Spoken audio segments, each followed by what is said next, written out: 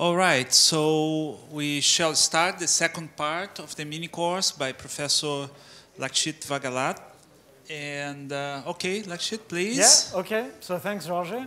So now that I've presented this, uh, this discrete time model, I'm going to give an example of this systematic supply and demand. And actually, I'm going to stick to that afterwards. So if you remember, we had this, this type of dynamics. So you have a price, SK. So SK is a multidimensional price, right? So SK1, SKN.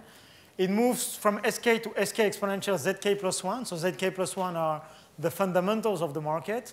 And then, because of a certain rule which is followed by the market, or at least the part of the market in aggregate, price moves again from SK exponential to SK exponential times this correction term, right? And you see here that I've taken a very uh, general setting where this phi i here can be anything, right? So phi i in the context of options trading is the delta of the option. In the context of leverage uh, rebalancing, it's the, it's the strategy of keeping a fixed leverage on a, on a fund. In the context of distressed selling, it's going to be a rule which implies that you sell when you lose a certain amount of, of cash. Right? So actually, I'm going to give and focus on one example, which is going to be the supply and demand generated by fire sales. So as I told you, fire sales are uh, forced sales of assets which have very various origins. It can be because of capital constraints which are imposed by the regulator. It can be because of investors redeeming their, their positions in a fund, because of collateral, because of lots of other reasons, right? So now we want to give an idea about the phi i here, which corresponds to fire sales. So I'm going to look here at a market with capital J funds. So typically it can be mutual funds, pension funds, those guys who, are who have to deal with a heavy regulation, right? So they have a lot of constraints which are imposed to them by regulator or by their own clients or sometimes by themselves, right? And so the value of fund J at date Tk is the sum of alpha ij ski. So alpha ij is the number of shares of fund J on asset i. Okay, so it's the, the number of shares, and of course, the value of the fund is just the sum of number of shares, shares times the, the, the value of the asset. Okay? So the thing that happens is that now, this SK, you know, we, we saw that it can move from SK to SK exponential something, right? And so because of those exogenous moves, the value of the fund itself moves, right? And because when the value of the fund moves too much, sometimes the fund manager has to react and has to liquidate some assets. You have possible fire sales which might be generated by those exogenous moves. Okay? So that's exactly what's happening in practice. You look at the market, you have a shock, which is exogenous. Lehman Brothers comes like that. Uh, something exogenous comes, prices drops, and then you have to react to this drop in prices because of an exogenous.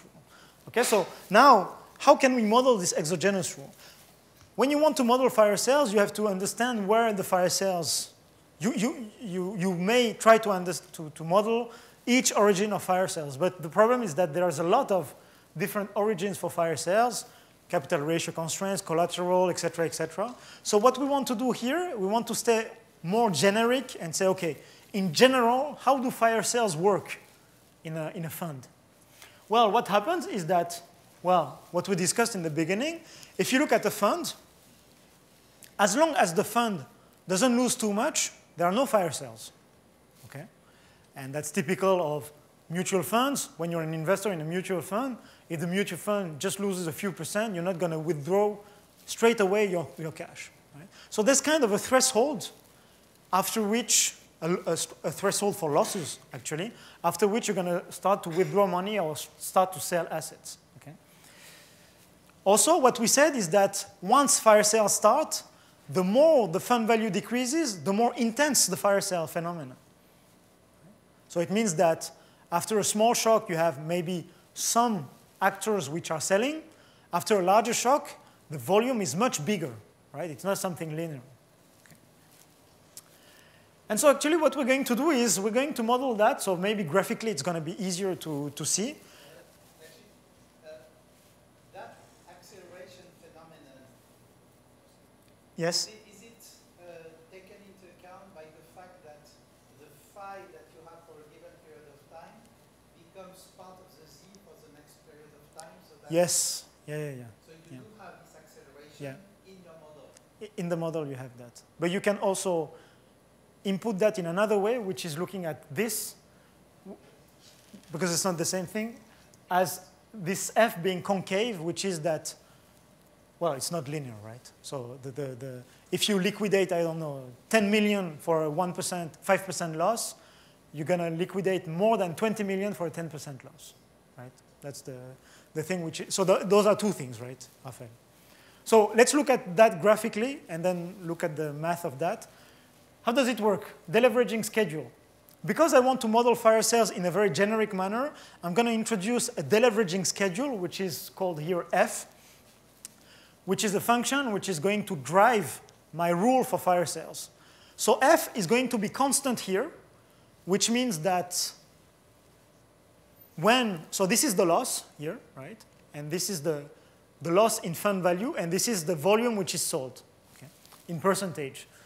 So when the, the loss is not too big, here you sell zero. Okay? But as soon as the loss exceeds a certain threshold, you start to sell a certain proportion of your fund. So here, for example, when the, the fund goes from VK to VK plus one, you sell this difference, which is, well, here, for the purpose of the graphical vis- visualization, it's almost 40%, right? So that's a big number so that you can see properly, but usually it can be 5% or 10% of the fund. Okay? How do you model that? You model that by looking at an f, which is a function of the fund value initially and the function at the, of the fund value after the exogenous move. So vk is the fund value at date k, and this thing here, which is here, is the fund value after the exogenous move, so after the, the zk plus 1. So it's right here. Okay? And then, because your fund value here is given here, you're going to liquidate a proportion of your fund which is given by this number here. Okay? So it's a very generic thing, right? It's f of a fund value minus f of the new fund value. Okay? And your f really depends on your rule. Okay? If you are constrained by risk-weighted capital constraint, you have a certain f. If you are constrained by a leverage ratio constraint, you have another f. If you are constrained by investors redeeming their positions, you have another f still. Okay? And it's your job as a bank to know. For example, banks, they know explicitly their f because the f is imposed by Basel. Okay? It's more complicated but for a fund because you don't really know how investors are going to take back their money. But still, you- you may have some estimates of historically how people have withdrawn their money. Okay? But what's nice here is that we're not assuming any particular form of f, except that f is increasing, which means that when the fund value decreases, you sell assets. And it's concave, which means that the, the, the more the fund value decreases, the more you sell. Okay? Also, one last thing, F is constant here, which means that as long as the fund value doesn't decrease too much, you don't liquidate anything. So all those things are pretty intuitive, right? That's how it, it works in practice. It's like you, you don't sell a significant part of your position except when you have lost enough, and enough depends on your exogenous constraints, right? And then you're going to start to sell a certain amount of, of, of assets. Okay? So now there's a question which is F here gives a proportion of the fund which is sold. So for example, let's look at here. I have to sell 40% of my fund. So if my, my fund is 100 million, I have to, to, to raise 40 million by selling 40 million of assets. So now the question is, how do I sell? Am I going to sell first the most liquid asset, or am I going to sell proportionally, et cetera, et cetera? There's a lot of different manners of selling, uh, uh, uh, optimally selling your portfolio, right? Here, what I'm going to assume is that I'm selling proportionally in each asset. So that means that when I sell here 40% of my fund, I'm going to sell 40% in each of my positions. 40% in asset one, 40% of my position in asset two, etc., until asset n. Okay? That might not be the, the, the wisest thing, but that's what I assume here.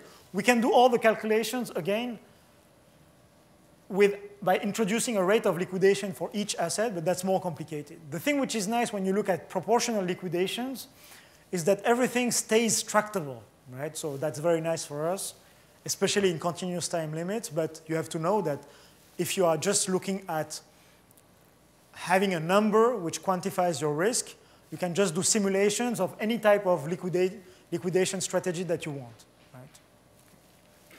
So in my, uh, in my uh, setting here, I'm going to look at a fund which suffers from potentially a loss and liquidates proportionally and has a linear impact on the assets. So once again, all those things, linear impact, proportional liquidations, you can relax them and do lots of things which are more refined. Okay, so here for the purpose of clarity, I'm looking at linear price impact, proportional liquidation, which is going to enable to have very simple and intuitive results. So that's an example of an F, right? And actually from now on, I'm going to replace this phi i, which was very general, by this F here, which is another phi i, but a very specific form of phi i, which is linked to fire sales. So the thing now is that we have a discrete time dynamics for the assets, and under some conditions which are here, so on the rate of, of uh, uh, liquidations, you can show that this thing, this dynamics here, which is here, for the phi i, which is the f that I showed, is a Markov chain. So it's just a very simple result, but what's nice is that when you have Markov chains, it's very easy to do a lot of simulations, right? It's very easy to simulate. So I'm going to uh, uh, uh, expose some simulation results. In the papers, there's a lot of results concerning simulation, so if you're interested, you can look into that. But let's look at the results of simulations. I think it, it gives a, a, lot of intuition about, about what's happening here. So let's look at a market with two assets. Okay, so there are two assets, one fund, and the two assets are fundamentally uncorrelated. Okay, so you're like a, a, a smart fund manager, right? And you found two uncorrelated assets. That's what lots of fund managers dream about, right? But you're pretty big in this market. Pretty big means that here you own 10% of the liquidity. And the problem is that here, as soon as you lose more than 5%, you're going to start to liquidate a little bit. That's typically the case because of a capital ratio constraint. Okay? So you have a fund investing in two assets which have zero fundamental correlation, but which may impact in a systematic manner those asset prices because it has to liquidate sometimes. Okay? Almost always, the fund doesn't liquidate, right? Because it doesn't lose 5%. But in the particular scenarios where the fund loses 5%, it has to liquidate. So here I'm going to simulate 100,000 times this market with this f here, which is here, right? And I simulate 100,000 times one year for this market, okay? And for one year, I'm going to compute the realized correlation between asset one and asset two. There are two assets, right? So normally, if there was no feedback, the correlation should be on average zero, right? Because I started with a fundamental correlation of zero. And what I end up with, so I'm drawing here the distribution of those correlations. Okay? So what I'm drawing here is, in green, the distribution of the correlation in the case where there is no feedback. And you have something which is uh, expected, centered around zero with a certain error. So it means that you have a market where the fundamental correlation is zero, you observe the market, the realized correlation that you observe is not necessarily exactly zero, but it's close to zero. Okay? Of course, you have an error. In some cases of the market, you have sometimes bigger correlations, but on average, if you look at 100,000 path of this market, you have something which is centered around zero. But then when you add the fact that the fund may impact the prices, you have the blue distribution. And what you observe is that the distribution of correlation is quite skewed and has a heavy tail. So what does that mean? It means that now the correlation between those two assets is no longer centered around zero, It's more, or actually, the average is more around 15, 20%. But what's even more interesting is that there are quite a number of scenarios where the correlation is above 40%, which is much more than those zero that you were expecting. Okay? So you see that this here, heavy tail, is generated with a model where the fundamental correlation is zero. So you start with something which is uncorrelated fundamentally, but because of your own action, it's going to get correlated. Now, when you condition on the fact that you liquidate, so you're looking now uh, here at the correlation distribution exactly in the path where my fund lost 5% and I had to liquidate. Well, here it's even worse. The correlation is even more skewed to the right. So it means that precisely in the scenarios where I lose a lot, so more than 5%, because of my own action, I'm going to make correlations increase. And that's very bad because in the beginning, I had chosen those two assets because they were supposedly uncorrelated, right? Because I wanted diversification effects. But actually, precisely when I need those diversification effects, so when I've lost a certain amount, 5% here in this model, precisely then, the, the assets are not going to behave as zero correlation, but more 20, 30, sometimes 40% correlation. That's very bad for my diversification. So that's correlation. You can look at fund volatility. Same thing here. In green, you have the fund volatility distribution, something centered around 17%. But in blue, with the feedback, you observe that because of the action of the fund itself, the volatility is skewed to the right. So there are a lot of scenarios where the volatility is larger than expected. The guy here, fund manager, expects something around 17%. There's a lot of, of scenarios above 25%. Yes? What is the frequency on which you observe this phenomenon in practice? Is it intraday? Is it over several Ah, okay. days? So it's more daily or weekly, yeah. Not intraday. That- that- Because I, I, the even more impressive thing, I, I love that, uh, because even more impressive is the fact that in fact those correlation effects and volatility effects, they are even predictors of the crisis. That Yes, They, yeah, yeah, yeah. occur before the crisis Yeah, yeah, yeah. That's true, yeah. I- I'm not use- look. I use that as crisis predictors.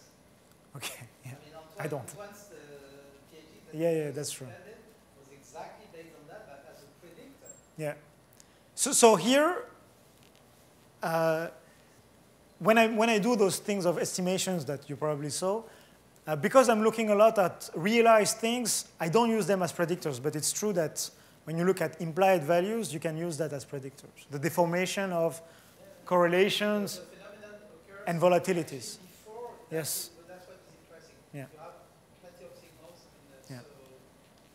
Yeah.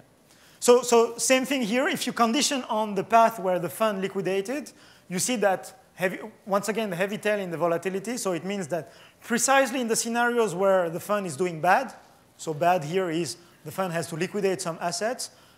Precisely the volatility is going to be increased because of the fund's own actions, right? Here there's only one fund. So it's not even the fault of someone else, right? It's the fund's own actions because of a rule which is imposed maybe by a regulator or someone else, but it's the fund's own actions which is going to generate this heavy tail. Okay? So now what I'm going to do is, well, first summarize this thing, this, uh, those results on, on uh, the numerics, which is that correlations and fun. yes, uh, Stefano? Just one quick question. The correlation you showed was one-year correlation as So here, yeah, so here, one simulation is a simulation of 250 trading days, so one year, right? And then I calculate the realized correlation, which is one number. I have 100,000 simulations, so I have 100,000 numbers, and this is the distribution. Yeah. All right. So now what we're going to do is that here, clearly it appears that there is an effect of the systematic rebalancing of the, of the fund, right? But you can still argue that it's numerical results and that maybe I cheated on my parameters and chose extreme parameters and that's, and that's worthless. So what I'm going to do now is that I'm going to quantify a bit more the effect of those systematic trades on the correlation structure and on the fund structure so that we have an idea about what's at stake here and what's important and what's not that important, right? So how do we do that? And I think it's a very interesting method, especially for the, the students who are here and, and are interested in financial modeling. One way of doing that is looking at this model that I presented, which is a discrete time model here.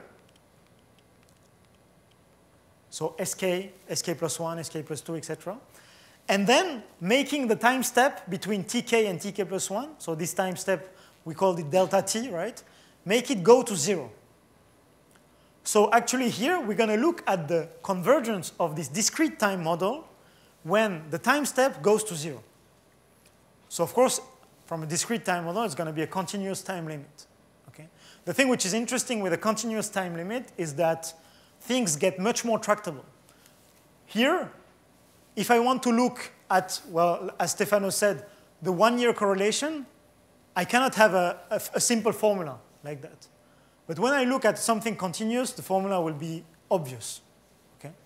So here, all the goal of my previous slide, of my next slides, is to find the continuous time limit of this, of this discrete time model. So I'm going to look at this convergence theorem, which is an interesting theorem, and which is the following. First, I'm going to look at a, a weak convergence, so convergence in law, which is defined here. So what's the convergence in law? We say that x indexed by delta t converges in law to xt, to this process. So it's a convergence of processes, right? If for any functional which is bounded, or well, here it's not a g, it's an f, right? The expected value of f of this delta, of this x indexed by delta t goes to the expected value of f without the delta t when delta t goes to zero. Okay? So that's the definition of a convergence in law, right? And I'm going to do that for my model here. So here, the delta t was the trading step, and the x here is the s, the time step, the, the price. Okay? So it's a vector. Okay? So in order to do that, I'm going to make some assumptions, so don't, uh, uh, don't get too blocked by those assumptions. That's merely technical assumptions, which is that the function, liquidation functions are smooth enough, and the innovations, psi, you know, the, the noise, right, are, have some smoothness also. Okay? And then I'm going to look at this thing. Under those assumptions, when delta t goes to zero, the discrete time uh, dynamics converges in law, in law, so as defined in the previous slides, to the solution of a stochastic differential equation. So the discrete time price was S, continuous time price is P, and the stochastic differential equation, verified by P, is given here. The drift is mu i. The volatility function is a multidimensional volatility matrix. It's sigma. Mu i is given by this line, which is a bit complicated. Sigma is given by this line, which is less complicated. I'm going to insist a lot on that, right? But what you see here is that it's possible to explicitly state the limit okay, as a function of all the parameters of the model. You see that the drift in the limit depends on the drift initially, and all those factors, which is the market depth, the positions of the fund, the values of the funds, the rates of liquidations, all those things are incorporated in the limit. Okay? Okay, so that's the continuous time limit. So how do we find that? So first, why do we do that? Why do we do that? It's because once you have a continuous time limit, now it's very easy to calculate correlations of volatilities. Right? It's just an integral of something which is here. Right? Whereas when you have a, a discrete time model and you want to lo look at the correlation in 10 steps, it's much more com complicated. Okay? Another thing which is very important is that if I had started this course by saying, we're going to study a market continuous time which is like that, people would just say, why? Right? There is no reason that the market should look like that. Doesn't, doesn't have any meaning like that when I look into that. The thing which is very powerful with this type of approach is that by starting with a discrete time model, you start with something which is very intuitive. Price sk, which moves to sk exponential zk plus 1, and then moves again. No one can argue against that. That's how it works in life, right? In practice, it works like that. Right? But then, by looking at the continuous time limit of that, you hold, you obtain something which is much more tractable. And that's very interesting in terms of risk management, risk measures, and things like that. Okay, so there are two, really two, two, two uh, advantages of doing that. One is obtaining tractable things, and another thing is that you cannot just start with the continuous time limit because it's not possible to justify this form, right? You have to start with something intuitive, which is discrete time, and then look at the continuous time limit. Okay? All right, so how do I obtain this? Yes? Yes, here, yeah. More and more often. Yeah. Because this might not be the, the, the same thing you're going to see in the market, observe in the market. Well, if you look at the bank, for example, they have one constraint, which is Basel, right? So you know the constraints. It's okay for the, for, Yeah, it's true that for a fund, it's more, maybe more volatile. Yeah. yes, and even more if you think about the, the small players that it's going to be aggregate, they might change. That might change. So here we say that you have a rule which is aggregate and doesn't change. Yeah. That's typically the case for a bank. No, no, no, no, no. Continuous time doesn't mean that you extend the horizon, right? You look at, for example, one year, but instead of looking every day, you look at things which are intraday. You, you don't extend the horizon, right? So that's important because you can choose, you, no, no, you, That, those rules that you, s- that you said, you said for one time, for one day and then for the other. I Yes. can change the rule for one day for the other. yeah, but usually that doesn't work like that. Usually you have a rule for the, the next month or next years, right? And continuous time doesn't mean that you are not looking at one year or 10 years. It's looking at one year, but in continuous time.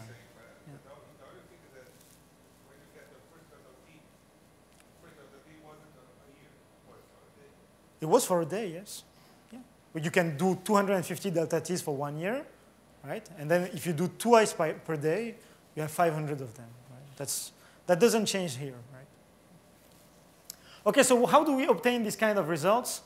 So it's a, it's a very nice theorem, uh, which is just convergence of, well, actually, for those who are a bit uh, uh, interested in stochastic calculus, it's really a converge, convergence theorem of a random walk to a Brownian motion, except that here the random walk is much more complicated because it's not a real random walk. There is a systematic effect which comes from this systematic trading. And so the ending, the ending uh, uh, uh, dynamics is not a Brownian motion, but it's something which is more complicated, which is a solution of a stochastic differential equation. Right? So how do I find this thing? Qu'est-ce qu'il y a? Euh, It's a linear or non-linear? Well, in which way linear? It's not linear because there's fund value here. But it's a, That's, yeah, that's what I was thinking. no, yeah, no, it's not linear. Exactly, yeah. Yeah. Yeah. I think that it's intuitive that it's not linear. Yeah, yeah, yeah. Precisely, get those dynamics. yeah, yeah. You, op- you, you, you start with something linear but by introducing the feedback which is non-linear. Here it's concave. You end up with something which is not. Yeah. So the first, uh, the first thing to do is try to identify in the limit the volatility matrix and the drift vector. So here I set up a matrix which is SISJ times this sigma sigma transpose which is defined here. Okay? And this BI which is the drift here. Okay? So I just scale everything by the prices. Okay? So I have a A, I have a B, right? Which are kind of intuitive to find. And then I have three conditions to verify. First is that from one period to another, there cannot be a significant jump, right?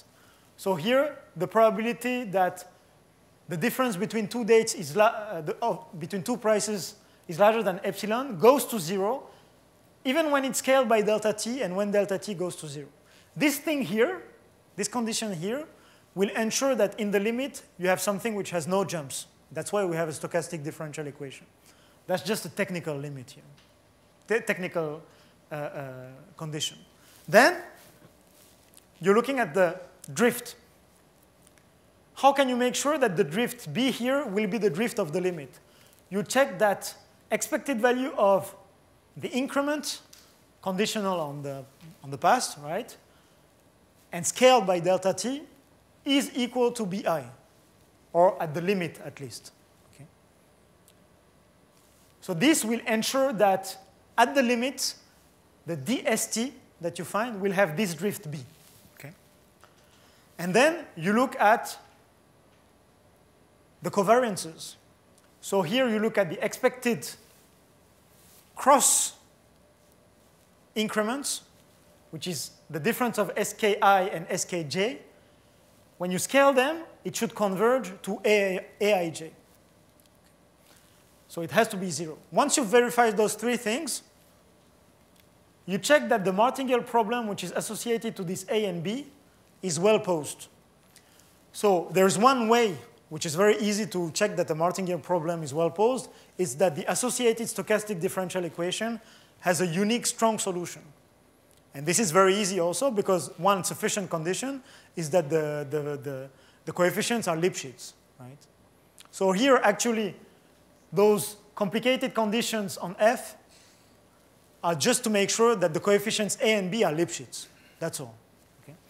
And once you have all that, you have a theorem, which is taken here by Ethier-Kurtz, but lots of people made different versions of this theorem, which says that if this SK is a Markov chain, verifies those three conditions, here no jumps, here the drift, here the co covariance uh, function, and if the martingale problem which is associated to this operator is well posed, which is once again the case if the coefficients are Lipschitz, then this discrete time dynamics, delta x indexed by delta t, converges in law when delta t goes to zero to the solution of an SDE or to the solution of the martingale problem, which is associated to this generator.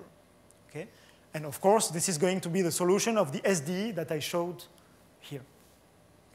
So that's how you obtain this SDE. Okay? So what, it's, it's, uh, it's not very complicated. It's really looking at the discrete time model, trying to identify sigma and, and mu. So you have A and B. And then you check three things, which is this, this, and this check that the coefficients are Lipschitz, for example, and then you have the, your, your limit. Okay? And so you have this thing here. And now that we have this continuous time limit, it's great because you can do everything in a tractable manner. And one thing that we like to do to quantify this impact, I've talked a lot about correlations. One thing that's very easy to find in, uh, when you have an SDE is correlation, right? So if you look at the correlation matrix now, so that's the part on realized volatilities and correlations. If you look at the correlation in this model now, the correlation, realized correlation between asset returns is going to be given by sigma plus all those terms in red. So remember, sigma was the fundamental correlation. But here what you see is that the realized correlation that you observe in the market is not necessarily equal to the fundamental correlation. Actually, it's going to be modified by those terms in red here. If we look now at those terms in red, what do they represent? What are the inputs for those terms in red? Well, first, you have this vector lambda, which appears here at order 1 in this term, here at order 2. What's lambda? Lambda is actually the size of each fund as a function of the liquidity of the asset. So here, lambda I, I, for example, it's alpha i divided by di. So it's the size of the fund in one asset divided by the liquidity of this asset. So if you think about that, the smaller the lambda, the closer the lambda to zero, the more liquid the asset, right? Because it means that the market depth of the asset is very large. Or it means that the positions of the fund is very small compared to the liquidity. So lambda is a measure of the fund's size as a function of the liquidity. Here, you see that in a market where market depth are infinite, so that's typically Black-Scholes or any traditional mar market, di is infinite. So lambda are equal to zero, right? So of course, all those terms in red, they disappear. Okay. So what we find, of course, is that in a market where the funds invest in infinitely liquid markets, but also in a market where the funds have positions which are negligible compared to the liquidities, things are going to behave as the fundamentals. Those terms in red are going to disappear. That's very intuitive, right? You are in a market where you are so small compared to the liquidity that, even when you are trading a lot, you're not trading that much compared to the liquidity, so you're not going to impact prices. Okay? So what else appears? What else appears is this F prime. Remember, F is the liquidation schedule. And F prime, actually, what is that? Is the rate at which you liquidate. Are you going to liquidate fast or not? If you remember the, the shape of this F, we said that as long as there are no fire sales, which is here, F is constant. So as long as I'm in, in this area, F is constant. So F prime is going to be equal to zero, right?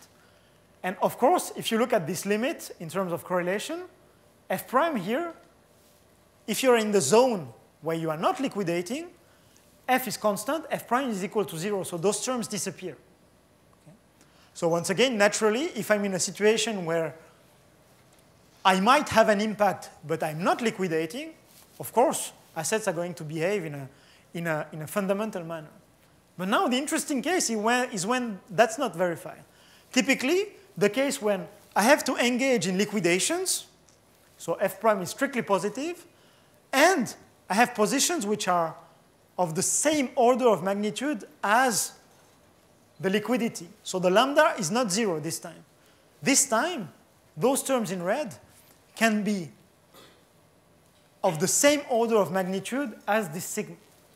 So you end up in an endogenous manner, starting from a constant covariance matrix, you end up with a covariance matrix which is here, which can be significantly different from fundamentals, depends on liquidities, depends on fund values, and so it go it's going to be path dependent.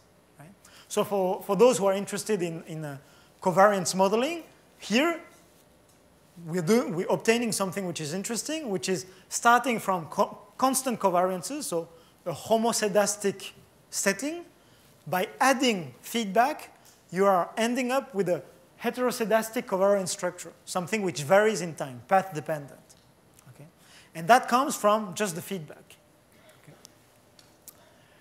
So, interesting thing is that the realized covariance is the fundamental covariance plus an excess covariance, which is path dependent and liquidity dependent. Okay. So now, if we look now at the risk and the spillover effects, Now, I'm going to look at the variance of myself in this market. So I'm a big fund.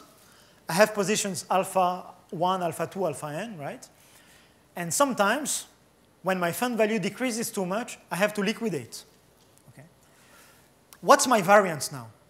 Well, once again, my variance is going to have a nice decomposition, which is a fundamental variance, which is here, pi sigma pi, which is my variance which would be my, the variance that I expect, plus those terms in red, which are here. And those terms in red, once again, they are liquidity dependent and path dependent. Okay. So it means that my variance is going to be different from the variance that I expect. And the only reason is because myself, I am sub subject to a rule and I'm affecting the prices in a systematic manner. What's interesting here is that all those terms in red here, they are positive. So what does that mean? It means that exactly in the scenarios where I'm going to liquidate assets, I'm going to increase my own variance. So that's something which shows how the benefits of diversification are reduced, right? As a fund manager, you spend a lot of time trying to diversify your portfolio, build it in a very nice manner, so that when things go bad, this diversification provides you a, with a cushion and with a safety. But the problem is that because of your own liquidations, you're going to make exactly in the worst scenarios, you're going to make your variance increase. What's interesting here is that you know exactly by how much It's just a function of your model parameters, right? You just have to estimate the liquidity of the assets, which can be done by some econometric studies, and have to know at which rate you liquidate, which is also known because, for example, for a bank, you know the rule that you are, that, that you are subject to. So that's a limit of the, divers- the classical diversification effects. Because of your endogenous feedback, you're going to decrease the diversification effects that you expected. You're going to observe vo- volatilities which are higher than what you expected. Right? Very often it comes as a surprise, but actually it's not a surprise. It's because of you, right? It's your own actions. Typically, the London whale guy, this big guy who liquidated his portfolio, lost six billion and had a huge volatility. No one else was trading except him, right? It's himself. Okay. Of course, once again, you have to have positions which are large enough compared to the liquidity. Someone which is intermediate with a large liquidity, uh, trading in an asset with a large liquidity would not have this kind of, of uh, effects. Yes? Rafael is not, doesn't agree. No, no, no, no, no, because you have the case of London Whale where you have, you also have, uh, uh, in Amaranth also was a situation like this, but you have the, uh, uh, more often cases where uh, a lot of, they, there is like a move in, in the asset management which take very parallel positions. And uh, there there is a famous case, you know, after the subprime crisis on 13th of October of 07, where you have uh, all the, the, the long short equity uh, uh, hedge fund drop massively uh, in a kind of flash crash because they were exactly in that situation. The, if I had just one thing to add, which even worsened everything you described, which I love, Okay. is the fact that on top of that, the D is not constant. Ah, yeah, so that's, a, yeah. The- So the- the- that's the true. D, so just that when, when all that phenomenon comes in, the D decreases because Yeah. you know, people become scared. So that's a very interesting point. That's actually something that I put here. First, this happens even without liquidity drying up. But the problem is that in practice, when that happens, the D, the liquidity, the depth of the asset uh, liquidity decreases in the same time, right? And that's a very important point that I don't take into account here, that's true. That in those bad cases where endogenously you increase your variance, also kind of endogenously also the liquidity is going to decrease and is going to uh, to deteriorate even further your volatilities. All right, so now something to come back to your first remark, uh, Raphael, is the spillovers, right? Imagine now that I'm this fund and I'm liquidating my positions alpha, right? So my own effect, my effect on myself is given here, right? So now the real question is, what's the effect on all other people, right? How am I going to affect those guys? Well, once again, I'm looking here at a small fund who has positions mu t, right? And I'm the big fund, and I'm liquidating my positions alpha, right? What's the variance of this fund mu, right? I have the same decomposition for my variance. Additive decomposition, fundamental variance for my, for my fund, plus endogenous variance. Okay. The thing here which is more interesting is that this time, those terms in red, they're not necessarily positive. So it means that because I liquidate, it's not necessarily bad for you. It just depends on your positions compared to mine. Right? And actually, if you look closely to this equation, you see something, a quantity very interesting which is appearing, which is lambda scalar pi mu, which is my position scalar your positions. So what's interesting is what we called with Rama the liquidity weighted overlap, lambda scalar pi mu, which is the scalar product between the vector which is alpha divided by d, so size of my position divided by the liquidity, times how much cash you put in each asset. Your, my effect on your variance will be order of 1 plus order 2 in this value here. And it's interesting because if you have positions which are close to mine, this will be very large. So of course your variance is going to be increased significantly because of my liquidations. If you have positions which are the opposite of mine, this will be very negative. So actually, it's good for you that I'm liquidating. But what's interesting is that if your positions are orthogonal to mine, you won't even feel that. That's going to be zero. Right? And the orthogonality condition is here. And what's interesting is that the orthogonality condition uh, is weighted by liquidity. So it means that if we have some overlap in our portfolios, it might be bad that I liquidate for you, right? But actually, if our overlap only concerns liquid assets, we don't care. Because when I liquidate portfolio, my portfolio, if I liquidate some liquid assets and some illiquid assets, I'm not going to impact liquid assets. If the only common commonality with me is liquid assets, you're not going to be impacted by that. Okay? So that's a very, I think, very strong uh, result that we got, which is that the overlaps between portfolios in terms of contagions, they are, uh, they are uh, uh, uh exacerbated by commonality in illiquid assets. Right? And what's important is this. Well, that, so here it's illiquid, but that can become illiquid. So assets which in the end have a small DI in this here.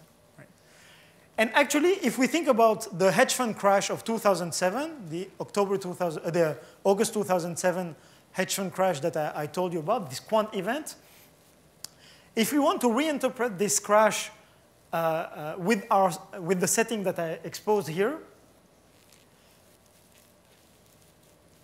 Here, what I told you is that there was a big fund which was owned by Goldman, which liquidated. So you had a big fund, positions alpha, which were liquidated. Okay? All the other hedge funds had positions mu, which were very close to this alpha. So actually, the overlap was very big. So this term was large, and actually, that's what observed is that the, the volatility of those funds increased significantly during this liquidation. Okay? On the contrary, if you look at the index funds, the positions mu of the index funds are by definition orthogonal to the positions alpha of a, long, of a market neutral fund. So actually, when you look at index funds versus market neutral funds, this scalar product is close to zero. And that's why for these index funds, they had, a, they had no impact from the liquidation of these Goldman Sachs hedge funds, right? Because there's, their positions, which were only long-only positions, were orthogonal to the long-short positions which were being liquidated. Okay? On the contrary, all the other long-short positions were very collinear to the ones which were liquidated. And actually here, was a good example of that happening without liquidity drying up because on the equities there was no significant impact on that. Okay.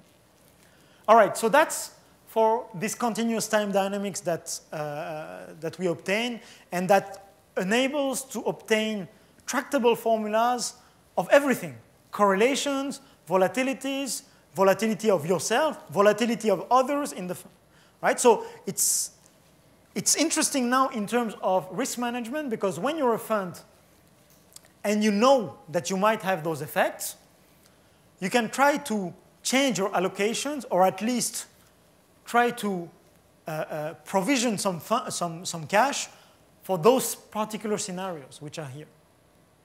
Okay? At least when you are aware of that, it makes a big difference in terms of risk management. There's a lot of ways to hedge this risk, right? You can buy uh, uh, uh uh, put options with a 50% strike or something like that to, to try to, to, to, to hedge this tail risk, right? Because this is tail risk. Okay. All right. So now I'm going to come to the last part of this uh, talk, which is about risk measures. So that's a joint work with Georges that we started uh, during my visit last year. So I'm going to simplify a little bit the setting that I presented to try to obtain tractable formulas for risk measures. Right? So here we obtain volatilities, correlations, but what about the risk measures? That's the things which are used by funds to monitor their risk, value at risk, expected shortfall, or other types of risk measures. Right? So the first thing which motivated this work is the fact that if you look at the, the how risk measures are, are, are are, are calculated and computed right? You see that the risk measures, they uh, essentially focus on mark-to-market losses, right? So actually, when you have a portfolio, how do you measure the risk of a portfolio, right? Really, to, to, to broadly speaking, you're looking at the losses in the worst scenarios for your portfolio, and this is going to give you a measure for your risk. But you're going to look at the losses in the market, right? Mark-to-market losses. Right? So typically, you're going to use a value at risk or expected shortfall, and you're going to look at the P&L distribution of a given risk horizon and calculate a certain risk, value of risk, right? Value, value at risk or expected shortfall or anything, anything which is more complicated, right? And actually, for those who deal with risk, you know, you, you, you, there's a lot of theory about risk measures, and, uh, and we put a lot of emphasis, for example, on coherent risk measures, and that's typically something which is linear, right? And what, I, what do I mean by linear? It's that in practice, most of the risk measures which are used, and typically value at risk and expected shortfall, they are linear risk measures. So it means that if I have a portfolio and my risk is 1 billion, if you have the same portfolio but 10 times bigger, your risk will be 10 billion if you calculate it with VAR or with expected shortfall. The problem is that if something bad happens in the market, and I have to liquidate some assets and you have to liquidate some assets, it's going to be much more difficult for you to liquidate assets because you're 10 times bigger than I am. And you see that your liquidation costs are going to be much more than 10 times my liquidation costs. So it's not going to be linear anymore. Okay? So With, with, in that precise example, if the two people have on top of that the same position, then you with your 1 billion is impacted by the fact that someone else has 10 billion. Yes, so that's going to impact my, my own risk. That's true. Yeah, yeah, yeah. Uh, Because, I, because I'm in a crowded strategy, yeah, exactly. So if you think about those risk measures, why do we measure risk? We measure risk because we want to have an idea about what happens in an extreme scenario, right? And what's an ex- so extreme losses. So typically, a regulator, banking regulator, is going to impose capital requirement for a bank. So uh, so the, uh, uh, impose that the bank holds enough capital compared to the size and risk of the, of the bank because it needs to make sure that the bank has enough to face an extreme event, right? Same thing if you look at a, a, a CCP, right? A CCP is going to ask for an initial margin and a variation margin because they need to make sure that if things go bad, you have enough to pay for the mark-to-market variation. Okay? But actually, what does that mean? It means that you're calculating risk to have an idea about your loss in a bad scenario. But the problem is that when a bad scenario in the market is materialized, it often goes along with liquidations. Right?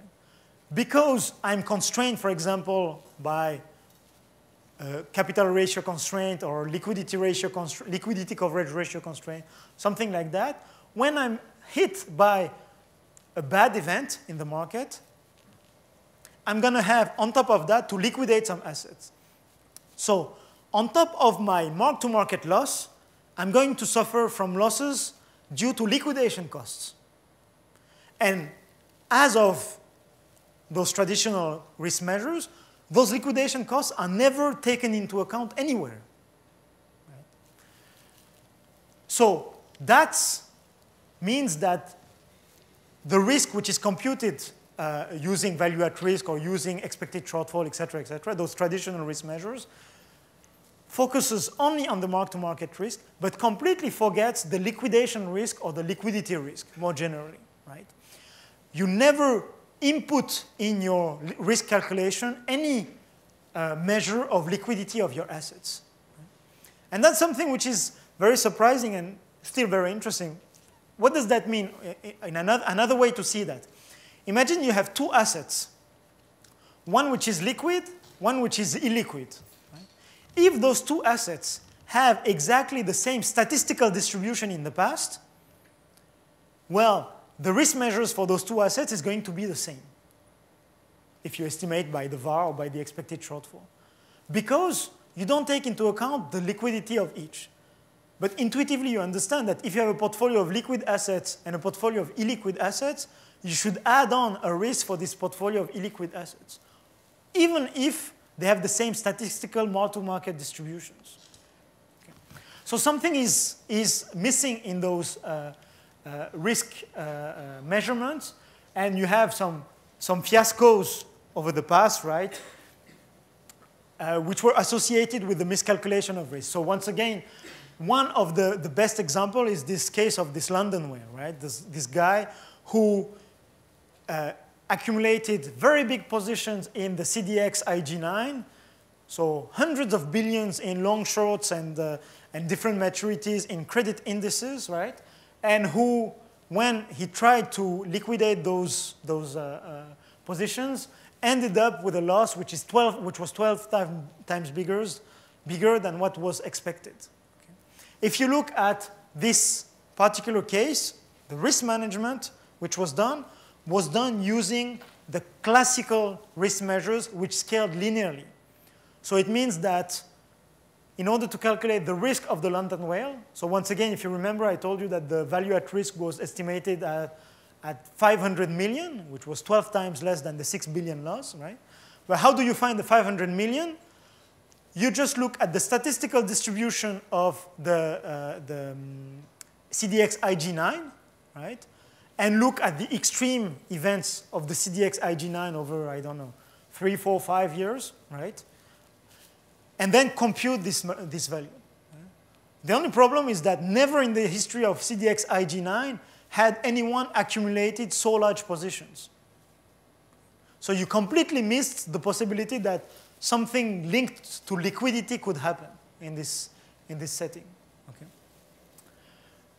So this is one example, right? Another example that I'm sure Raphael is fond of is the example of LTCM, right? Yes, yeah, but Kerviel was done privately, right? So. Yeah, yeah, yeah. I mean, they, they, they wanted to liquidate in one day, and the loss finally was twice what they should have. It's, it was 5 billion instead of, uh, I don't know, 1 million, 1 billion or. Yeah? Yeah. Maybe the, this uh, LTCM was even more uh, uh, uh, re remarkable because, so if you don't know.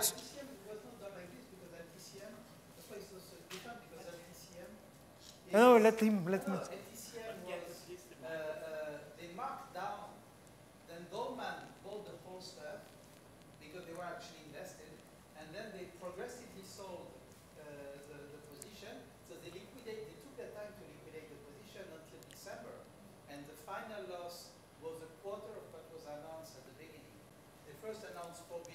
Yeah, but the first losses was, were huge for LTCM. And that was not expected because they had. Yeah, yeah, but still. Was taken by Goldman, and Goldman progressively liquidated the position. The actual loss at the end was uh, six or seven hundred million. It was below a billion. So that was another example where, on the contrary, the people had been clever enough to take the time to liquidate. They had still to be bailed out, right? Because of that, because of these correlations. They cried, they cried the, it's the Fed that imposed that.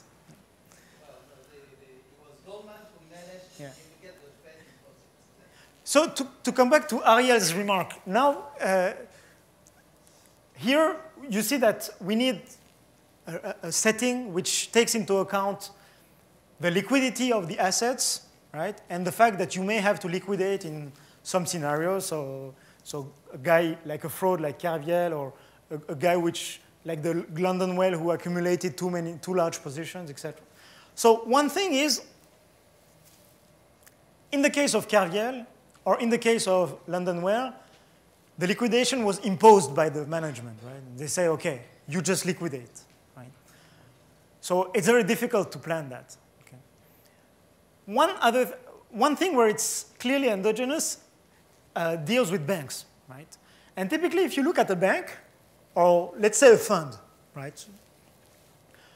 A fund is usually con uh, constrained by leverage, right? So it means that the fund will be able, will have, uh, will, will be authorized to borrow, but not too much, right? And the ratio between the borrowing and the equity is what we call the leverage. So actually, it's not exactly what I use here. Here, I call the leverage as the size of the fund divided by the equity of the fund. Right? For banks, it's exactly the, uh, the, the inverse ratio, which is equity divided by value, which is the capital leverage ratio, which, is, which has to be larger than 3% in Basel III. For funds, you, you very often have leverage lower than a certain value. And typically, this is a rule which is imposed by the fund manager himself or herself, which says, okay, I want to find some investors, but I don't want to scare them too much, so I'm going to impose on my fund that I'm not going to get more than 10 times leverage, something like that. Right? So it depends on the fund. It depends sometimes on regulators. Right? And for banks, actually, it's exactly the reg regulators. So now imagine that the fund loses a certain percentage, a certain percentage in the, in the, in, in the assets. Right? So you denote L here, the percentage loss for the fund. So 5%, 10% in the asset, right? So the value of the, of the fund goes from V to V times 1 minus L, right? That's okay. Right? So the loss in dollars, how much is that? It's V times L, right? Okay. So now, the fund loses V times L. If the equity of the fund is below V times L, the fund is insolvent, right? So here in the model, we're going to say that the fund goes bankrupt and is liquidated. But if the fund has enough equity, which is most likely the case, right? The fund is going to absorb this loss. But what is going to absorb the loss exactly? It's the equity of the fund which is going to absorb the loss. So the equity of the fund, which was E here, is going to decrease from E to E minus the loss, which is LV. Okay, okay so that's the, the typical mechanism of absorbing loss. Right? And now you can compute again the, the, the leverage ratio. What's the leverage ratio? Once again, leverage ratio is size of my, of my fund divided by equity of the fund. Initially, size was V, equity was E, but after the loss, size is V times 1 minus L, and equity is E minus LV. And actually, if you, if you look at this function here, it's an increasing function of L. So it means that the more I lose, the more my leverage increases. So if my loss is not too big, my leverage is maybe going to stay below Lmax, which is the maximum which is authorized. But if my leverage is big, if my loss is big enough, so L is above here, actually this L star, which is a, a threshold which you can compute explicitly, right? What happens is that the fund is going to violate its leverage constraint. So it means that the loss is big enough so that the fund, the, the leverage ratio here, which is here of the fund, is above Lmax. Okay? So now you have a fund which is still alive, but has a leverage ratio which is too large. So what can the fund do? When the leverage ratio is too large, when a ratio is too large in general, either you decrease the numerator or you increase the denominator. So what does it mean, increasing the denominator? Once again, it means increasing the equity. So we discussed about that at the beginning of the, the course. This is something that typically a financial institution is going to try to avoid. Because first, in general, it dilutes previous investors, but especially after a shock, it's very costly to issue equity. So what instead is, going to, is the financial institution going to do? it's going to decrease the numerator. So it means that it's going to sell assets. And what's interesting is that you know exactly how much it's going to sell. The proportion here is given by this function, 1 minus here. And actually, you can draw that. And it's the blue curve here, which is that here on the x-axis, you have the, the L, the percentage loss here. So as long as L here is lower than 1%, so here I'm taking a fund which, is, which has a leverage of 25, so conversely, a capital ratio of 4%, and the, the, the maximum leverage is 33. So it means that the capital ratio should be larger than 3%. So it's exactly the Basel rule, right? Basel, new Basel III rule says that the capital ratio has to be larger than 3%, leverage capital ratio. So here, if you look at L here, you have losses. You see that as long as the loss is below 1%, the volume that you liquidate is zero. The proportion of the fund that you liquidate is zero. So once again, as long as you don't lose enough, uh, too much, you don't do anything. Okay? But then, as soon as you go above this 1% loss, you have to liquidate. And it's not your choice, right? It's not because you want to liquidate and it's strategic, strategically optimal or something, right? Actually, you don't want to liquidate precisely at that moment, right? Because prices already decreased, right? So you don't want to sell after a decrease, especially a large decrease, especially if you believe that there is some kind of a mean reversion somewhere and that prices may increase back. So it's not your choice. It's because of a regulator for a bank or it's because of your own rules for a, for a fund. It's not your choice. It's a rule, exogenous rule, which forces you to liquidate. So endogenously, you're going to liquidate here. And this is going to be an explicit function of your, of your, of your loss, right? And to come back to Ariel's comment here, as long as you have this rule, this rule will not, will not change. This, this liquidation rule doesn't change. Okay? What you see here is that, of course, the more you lose, the more you liquidate. And there is a threshold, which is here. So I think it's 4%, yes. And actually, that's normal, right? Because the capital ratio is 4%. Is that when your assets lose more than 4%, you don't have enough equity to absorb the loss. So here in the model, you liquidate everything. So your whole portfolio is liquidated. Okay? Actually, in practice, that's a bit different, right? So that's what we did with Georgia. But actually, in practice, when you have a very large shock and you have to liquidate, uh, and you're like insolvent and you're being liquidated by the competent regulator, you take time to liquidate, right? That's, you what?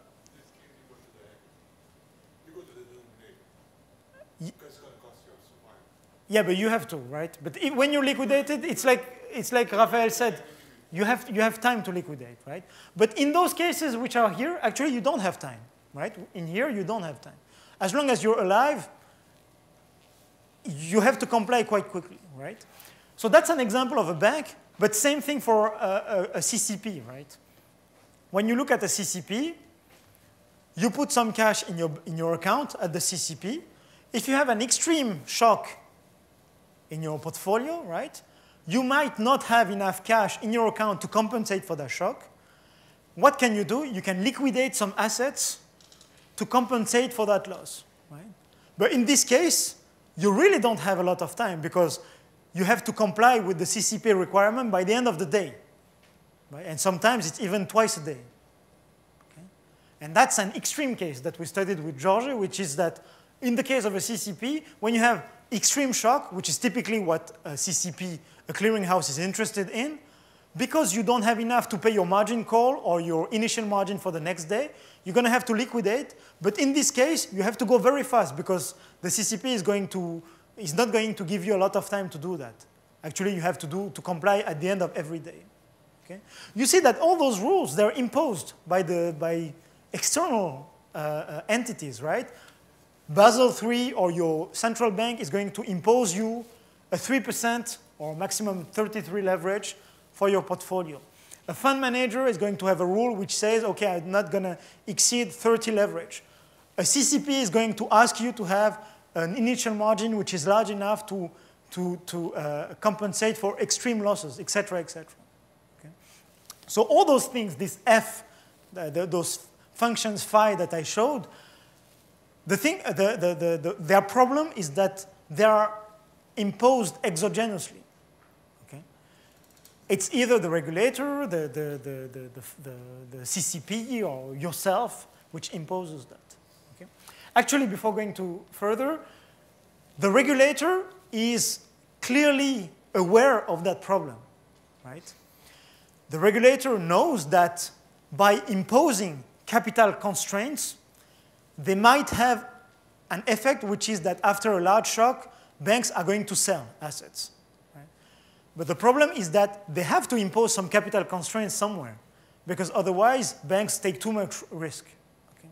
So over the last years, there's been a, a lot of thinking which was done by regulators uh, in order to try to mitigate this undesirable effect of, of capital constraints, right?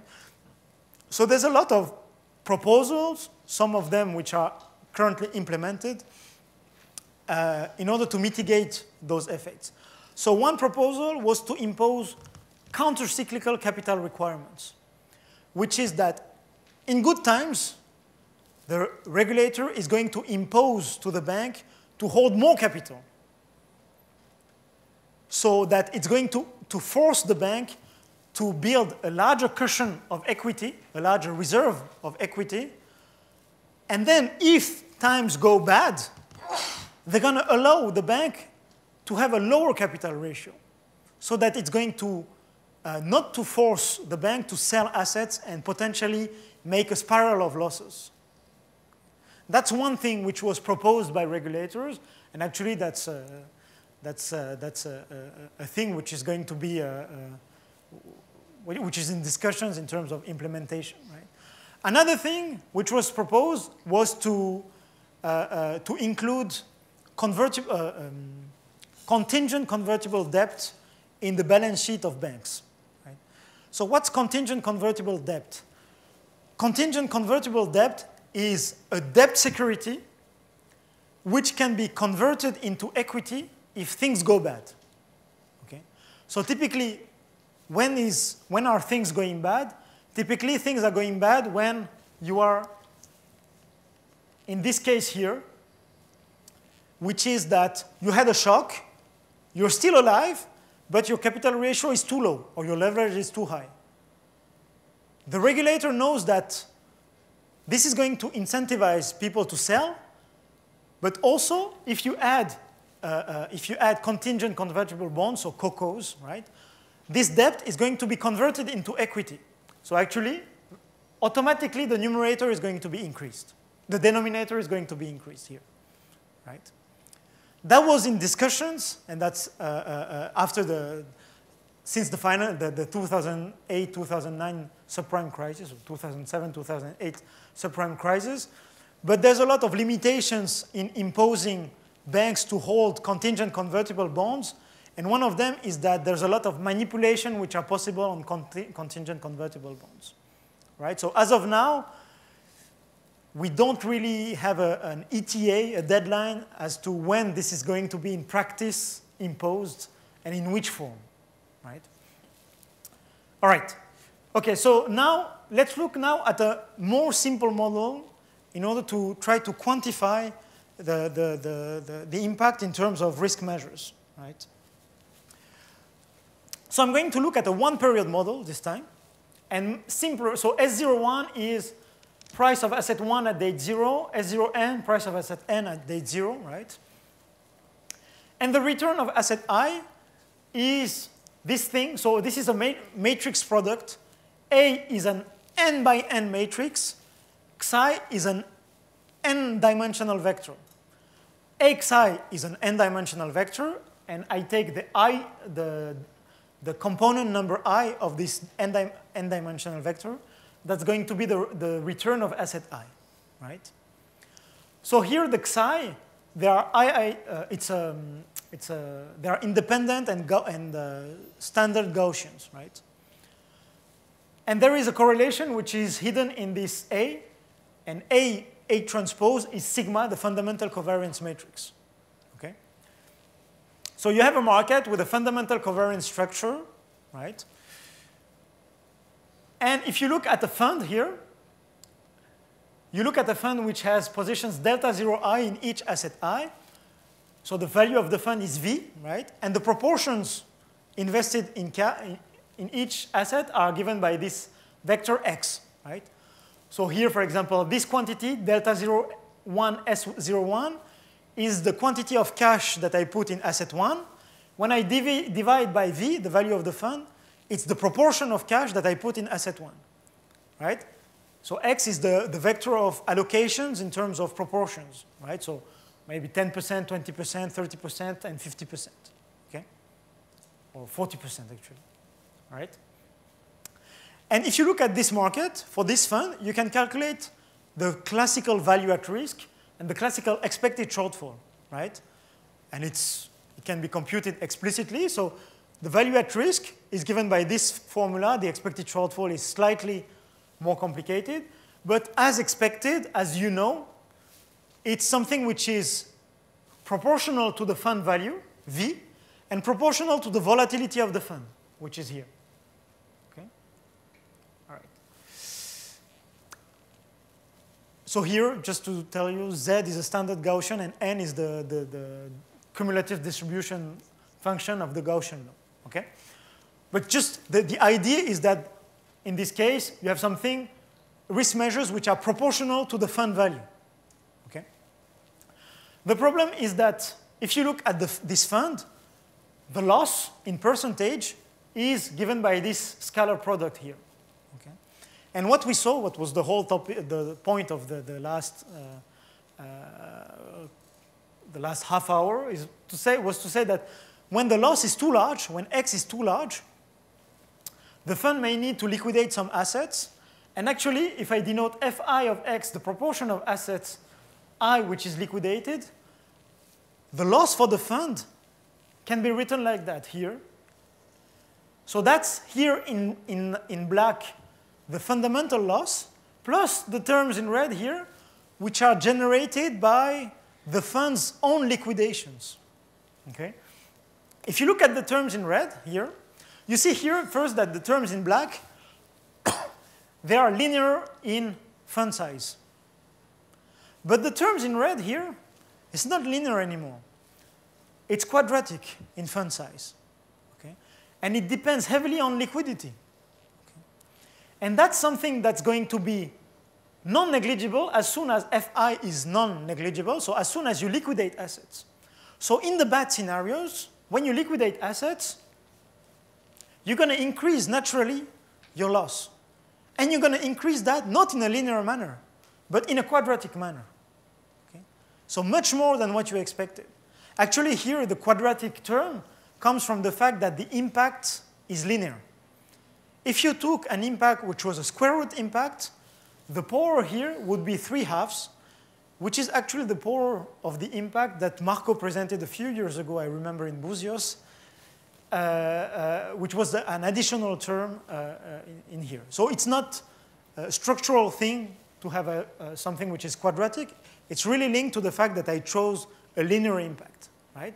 So linear impact means that the impact is linear in delta, but because my positions are also linear in delta, the impact, final impact on my price will be delta times delta, so the square. Okay? All right, so now what we did with George was to look at a particular function which was a, a, a really extreme case. Imagine that my liquidation function is the following. As, as long as my fund loss is below gamma, I don't do anything, so I liquidate zero. And as soon as it's above gamma, I liquidate everything. So it's kind of zero one, right? But that's typically what can happen in a, in a, for, a, uh, for a buy and hold strategy where you have to, to liquidate only in an extreme event. Well, in this case, which is a simplifying case, right? Things are much smoother in real life, right? You liquidate more in a much smoother manner, just uh, not, not as abruptly as here. In this case, you can compute the VAR and the expected shortfall. So you have the, the, the, the, the technical results which are here. But what's interesting here to notice is are the terms in red here, which are the liquidity adjustments of the existing risk measures. What you see here is that, for example, let's take this last line here. The VAR in the model where you take into account the feedback of your own liquidations is equal to the previous var plus a term which is quadratic in your size. Right. Same thing for the expected shortfall. Right. Actually, as long as you're not big, those terms in red, they are negligible because your positions will be small compared to the liquidity. Once again, if I liquidate a few hundred dollars on the S&P 500, no one's going to care, right? Because the liquidity is so big. But if you're the London whale and you liquidate a few hundred billions on the market, which is a few hundred billions, this is going to be significant. And actually, when you look at the London whale, we calibrated those figures with uh, Rama in a previous paper. The VAR here, the fundamental VAR, was estimated, I told you, to 500 million. The liquidity, liquidity adjustment was for, uh, 5.5 billion. The sum was the loss, which was 6 billion. Okay. This liquidity loss happens in only extreme cases. Once again, it's only when things go super, super bad for you. But the whole point of risk is looking at things when, when, when looking at things when the market is going very bad, right? So you have to adjust for that. And you know that when things are going to go bad, you're going to have to liquidate some assets and readjust your positions. One thing is looking at this adjustment. You see that this sum is very easy to compute, right? It's just a quadratic version of your size divided by the liquidity, and you sum over all the assets that you have. So the value here is something in, in, uh, in size. Yeah. Okay. All right, so now I think I'm almost done in terms of time. So I'm going to conclude very quickly uh, to say that, well, the, the, the, the framework that I proposed, uh, well, first that Feedback effects in financial markets are something which are well known and that should be taken into account in existing models. The most existing models, they deal with a, an exogenous, they propose an exogenous representation of asset prices. In almost all cases of financial markets, it works, except in cases where you have large systematic supply and demand. And the adjustment you have to do to the existing model is very small, right? The model, the discrete time model that I presented is very easy. It's your own favorite model adjusted with the systematic supply and demand. So the adjustment is very small. It's, it's not complicated. The formulas that we obtain are also tractable, so it's not very complicated either, right? But by taking into account those adjustments, you are able to anticipate the effects of those uh, of the feedback from large investors and to adjust the risk of your portfolio to this liquidity risk, which is currently underestimated. So don't be bothered by the fact that most of the results that I presented are simplified things, which are, for example, Black-Scholes or linear price impact or constant covariance matrix. In practice, you might be in your fund or in your bank or something like that and have a very complicated model for the dynamics, a very complicated model for for covariances, a very complicated model for the DI, the, the price impact, and then you input the feedback. Right? It's just an adjustment of existing models. And you see that enable, it enables in a very easy manner to account for lots of systematic behavior that you observe in a financial market. So I think I'm done. So yeah, so there's a few papers, if you're interested, which deal with the, with the talk that I gave today. So actually the talk that I gave today is kind of a, an, a, a condensed summary of all those papers. And thank you for your attention. Thank you.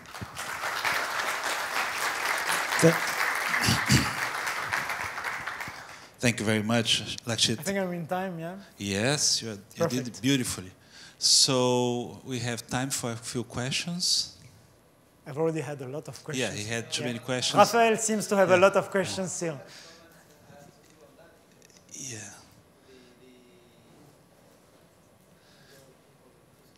So why don't you, well, let, let, before you do your comments, let's see if anyone else has some other comments. And uh, okay, just a second. Sorry. Can you extract uh, from correlation data uh, the, the examples that you that you mentioned at the beginning of the presentations? do you think that you can extract from the correlation data something uh, related to concentration and liquidity risk uh, for the assets, for the current time, for the current, uh, which assets have the most uh, risk of, uh, uh, of liquidation going into the future? So, so you mean in a forward-looking manner? Yes. No, you can't, because you need to know uh, the well the holdings of large institutions and how they trade. So if you have that, you can do that. And typically, if you're a big bank, you know that you're kind of making the market. So you know actually, and you know that people are uh, most other banks are going to have very similar positions as you have, right? So you have an idea, but to, to implement this, those kinds of things, you have to know this alpha, right? So either you're the bank and you are trying to anticipate your own effects, or you have an idea about the alpha, and then you can compute all the quantities that, you, that we have here. Because the unwinding of the position is nonlinear, and uh, at the beginning of the unwinding, you could kind of start feeling uh, some effects on the on the correlation. I don't know if that they they would be uh, relevant enough so that you can you know uh, tag a, a, a, risk of unwinding. But so that's yeah. So that's another thing. So that's more strategic, right? It may happen that so that's actually something that I implemented in a fund in the U.S. But it may happen that you have a very stable correlation structure typically the one that I showed in uh, Black-Scholes, right? And then you have a move, sudden move. So when you observe this sudden move, you can say, okay, I am going to interpret this sudden move uh, by explaining that by someone who is trading in a systematic manner. Right? And then it's possible to implicit what the guy is trading, but it's backward looking. Once you identify this alpha, you can say, okay, I'm pretty sure that this guy is, is going to continue. And then you can do that. Okay. Thank you. But you have to be sure, because if the guy stopped and you're doing the wrong thing, you're screwed, right?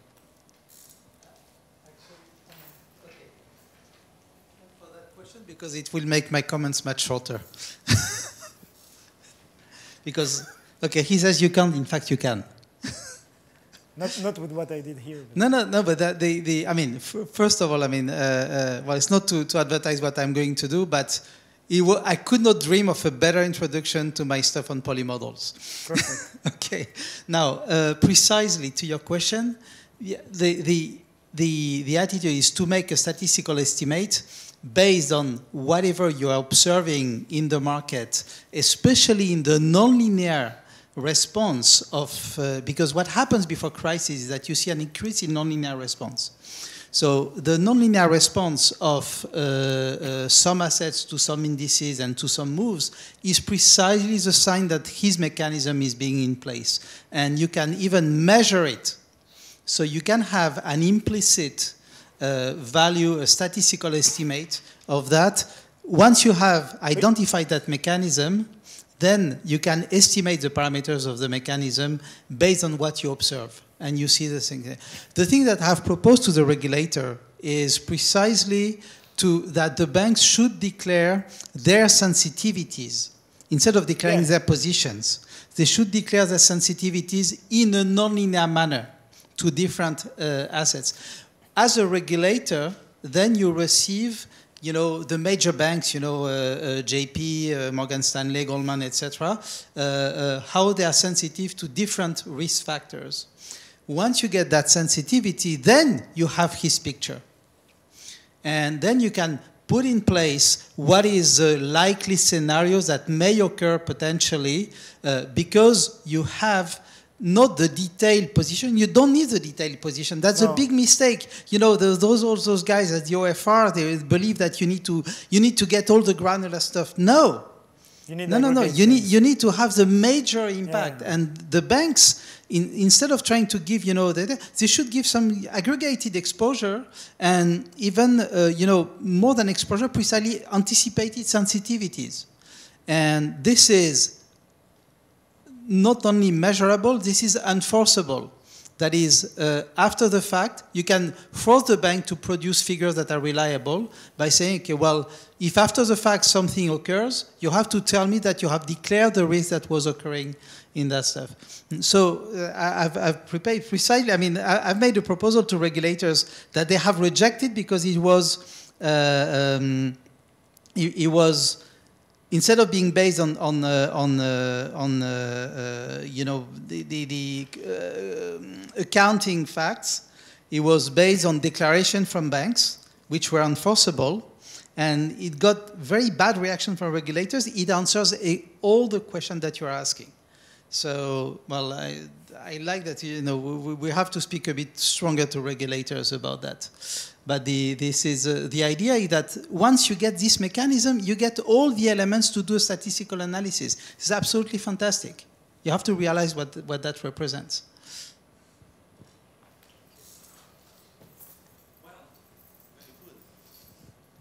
Any further questions? No? If there are no further questions, let's thank uh, Lakshithe again and all the contributions from the audience.